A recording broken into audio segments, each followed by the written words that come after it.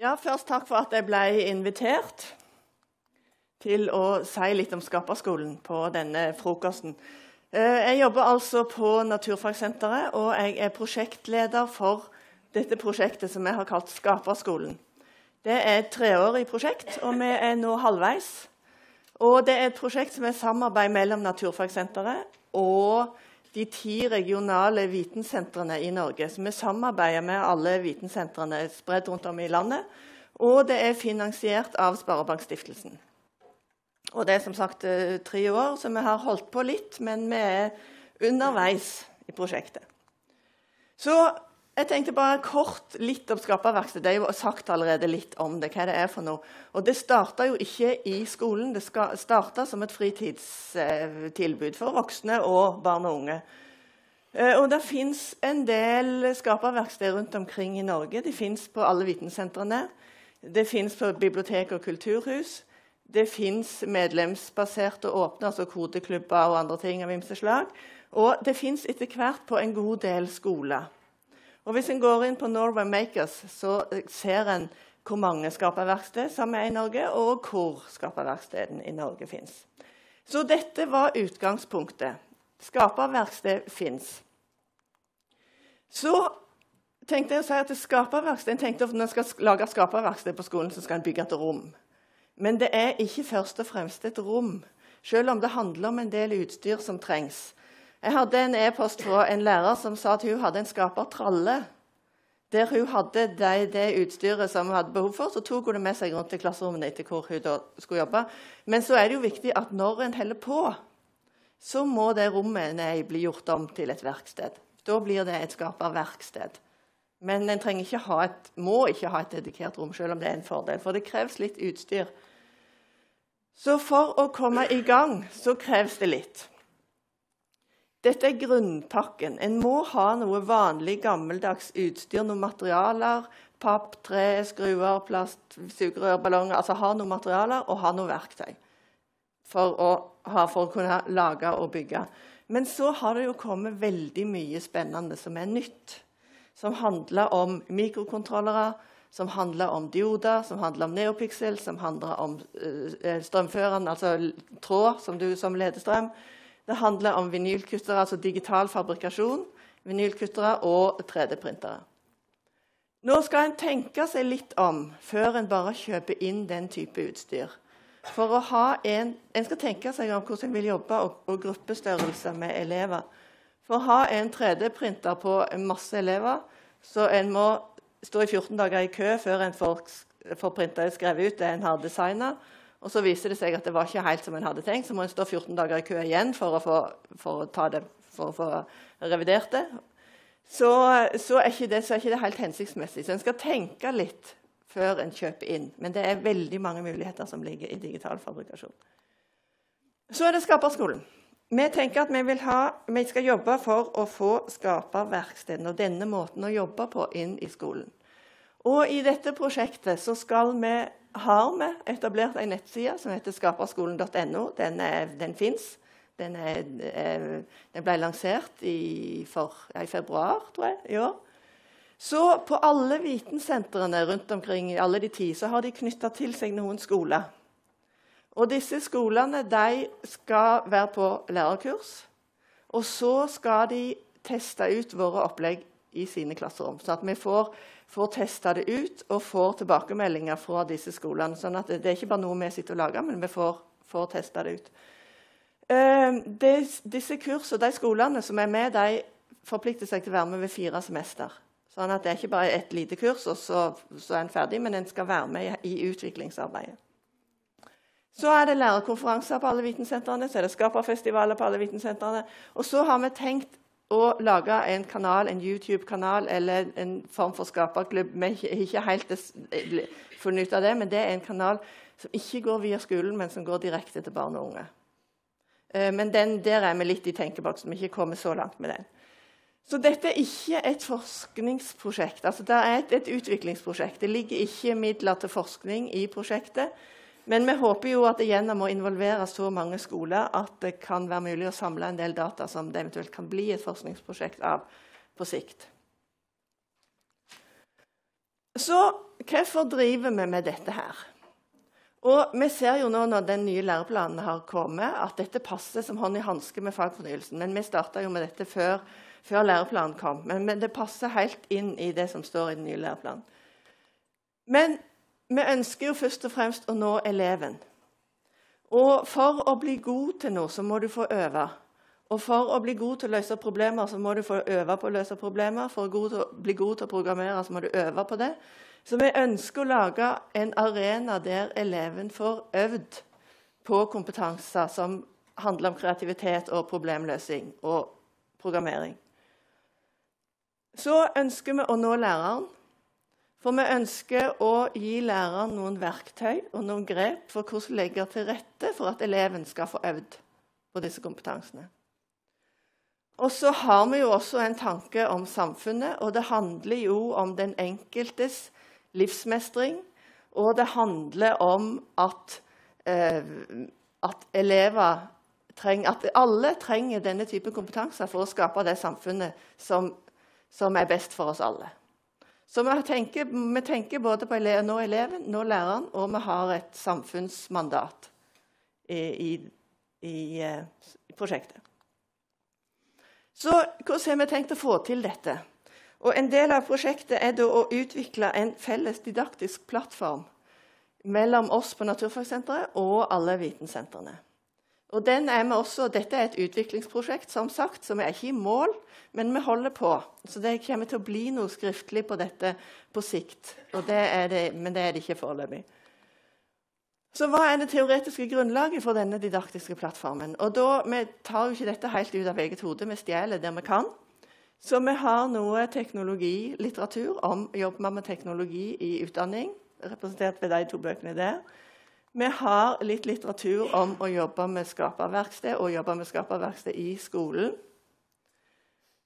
Vi har litteratur om kreative prosesser. Og for meg som naturviter så er dette veldig nytt og veldig spennende å jobbe med. Så har vi eh, generell pedagogisk litteratur. Altså om hvordan gjøre elevens tenking synlig. Hva er det de har lært, og hvordan får læreren, eh, hvordan får læreren sett hva elevene har lært? Det handler om dybdelæring og ikke minst undervisning for dybdelæring. Hvilke grep kan læreren ta for å få til det? Det handler om å variere aktiviteter systematisk, sånn at en får belyst en, et, et, tema den holder på med fra flere måter. Altså hånd og, og hjerne og hjerte. Det handler om at det skal være relevant, og det handler om at det skal være utforskende. Så vi bruker all denne litteraturen, og dette er, dette er jo litteratur som kommer av store forskningsprosjekt. Så du kan si at prosjektet er forskningsbasert i den, i den forstand at vi prøver å implementere forskning i det, de ressursene som vi utvikler. Så vi tenker at det viktige med Skaperskolen er at det skal åpne læringsdørene. Og det, det begrepet har jeg fra professor Per Brodal, som er hjerneforsker, og som snakket, snakker mye om hvor viktig det er med engasjement og mestring for i hele tatt å få fysiologisk knytta disse forbindelsene i hjernen som handler om læring. Så, og denne Å åpne læringsdørene det handler om mestring, det handler om engasjement og det handler om interesse. Og Vi hadde utprøving av et av våre opplegg eh, på, klasse, på, ja, på mellomtrinnet på en skole. Og da, da, skulle en programmere uh, musikk. En skulle lage klassens band med å programmere de ulike stemmene som skulle være med i dette bandet. Og da skulle de bruke mikrobit til å programmere, og en skulle ha pentatonskala. For hvis en har pentatonskala, så kan en sette sammen nesten alt, og det låter sånn noenlunde brukbart. Og de elevene var etterpå, å, de, var, de, var helt, de var så på, og de syntes de hadde lært så mye. Og så har jeg tenkt i etterkant ja, hva har de egentlig lært av det prosjektet? Og det jeg tror de opplevde, var mestring. Kanskje ikke at det, at det, var læringen som var i fokus, men mestringen var i fokus. Og Hvis en ser på, på læringsmålene de, de, lærte, og, altså de anvendte Løkke i programmering. TIK, Læringsmål. Ja. De lærte om pentatonskala. Tikk. Ja. Men jeg tror ikke det var det som skapte engasjementet. Jeg tror det var mestringen. Og så gjennom det en gjorde, så lærte en om pentatonskala, og en lærte å programmere løkke, for en anvendte det. Så jeg tror interessen kom av mestringen. Jeg tror ikke en var så gruelig interessert i pentatonskala eller programmering av løkke i utgangspunktet, men interessen kom av engasjementet. Oppgaven var engasjerende, og en opplevde mestring. Så er det en modell som jeg liker veldig godt, som handler om det som skjer innenfor og utenfor hjernen når du skal lære. Og at du, du, setter i gang en tankeprosess, enten den kommer innenfra eller det kommer via stimuli eller sanseopplevelser utenfor. Og så får du en tanke, så må du bryne den utenfor hjernen, enten ved å gjøre noe eller snakke med noen eller lage noe eller et eller annet. Og så tenker du, og så prøver du igjen, og så tenker du, og så prøver du igjen. Og det som er Fordelen med programmering, er at da går denne her veldig veldig fort. Du går inn og ut av, av, av, Du tester det du har gjort. Du tenker mer, du tester det du har gjort. Du får, du får umiddelbar tilbakemelding. Og så blir det læreren som da, og sin oppgave å observere hvordan eleven har gjort sin tenking synlig. Det handler jo om vurdering. Det er en del av skolens ramme. Og eleven må bli utfordret til å tenke om tenking og prøve å fortelle det til læreren. Hva tenkte jeg når jeg lagde dette? Hvorfor denne, ble jeg ikke lei denne oppgaven, men holdt på at jeg fikk det til i denne situasjonen, men ikke andre? Så tenker vi at en lærer har mange roller. Og dette er ikke fire lærere, det er fire roller for én lærer. Den skal både veilede og stille gode spørsmål, den skal dokumentere, altså være og vurdere, den skal tilrettelegge alt utstyr og være verkstedsjef, og den skal tilpasse til sin klasse og sin gjeng, altså være etnograf. Vite hvem er det jeg har og skal jobbe sammen med. Så alle disse rollene er, er for en lærer. Og så er det en masse grep læreren kan ta for å få til dette.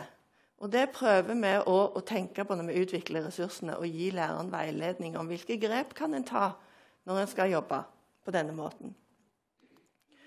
Og Da har vi utvikla et planleggingsverktøy som vi nå er i ferd med å teste, som kan være en bevisstgjøring av hvilke grep har en tilgjengelig når en skal drive og planlegge en skapertime.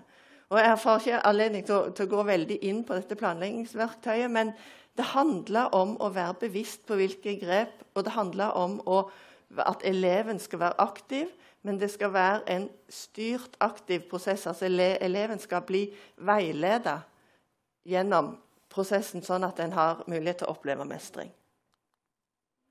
Så tenker vi at i et samarbeid mellom, mellom eh, skaperverksted og skole, altså skaperkultur møter skolekultur, så må alle, begge parter gi og ta. Skaperverksted må kanskje tilpasse seg litt skolens rammer, men kanskje skolen må løse litt opp. Og da tenker vi at altså læringsmål, kompetansemål selvfølgelig skal en holde seg innen læreplanen. Men ifra veldig læremålstyrt så er jeg blitt veldig glad i det ordet 'serendipity'. Bare for dette klinger så fint. Det er så godt å si det. Men det handler om hva du finner underveis, uten at du egentlig så etter det. Og disse elevene som jeg hadde med den musikken, de, de, En av elevene snudde eh, høyttaleren med membranen ned. Og Da begynte en sånn pappkopp å hoppe bortover bordet. Så Da hadde de plutselig oppdaga noe av svingninger og lyd. Det hadde vi ikke tenkt, men det dukka opp plutselig underveis. Og det er det mye læring i. Så vi tenker at, at et eh, læringskart kan være en måte å få dokumentere det som en har lært, og det som har dukka opp underveis. Der lærer kan fylle ut, og elever kan fylle ut. Hva har jeg tenkt? Hva har jeg gjort? Det, dette oppstod. Hva skjedde da? Jeg gjorde en fantastisk feil. Hva lærte jeg av det? Og så tenker vi at En skaperoppgave skal være sånn at har du 15 grupper i en klasse, skal du ha 15 ulike resultat. Det kan være samme oppgaven, men kan, de kan gå hver sin vei når de skal løse oppgaven. Og så tenkte jeg bare å avslutte med den.